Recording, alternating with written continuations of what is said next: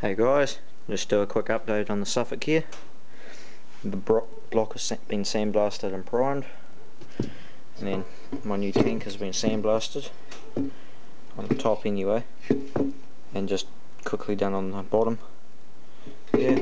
I've got a new front cover. Because the other one was pretty crappy looking. As you can see this I haven't quite finished it. I've run out of paint and primer. So hopefully I'll be able to get that done when I get some more. Righto, that was just a quick quick update. Wait, I'll show you the difference between front covers if you can see.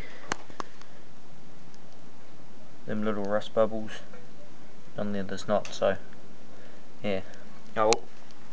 I'll see you guys later.